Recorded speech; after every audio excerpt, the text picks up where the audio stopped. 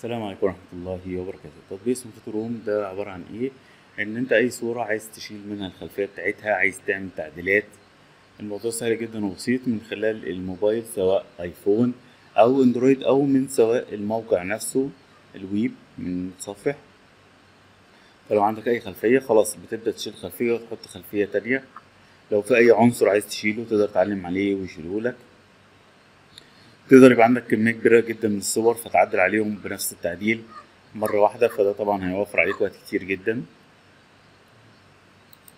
ممكن تعمل بلور للخلفية تخليها يعني مش واضحة.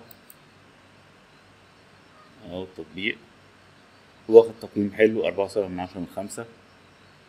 فإن شاء الله يعجبكم لأن هو سهل جدا في الاستخدام.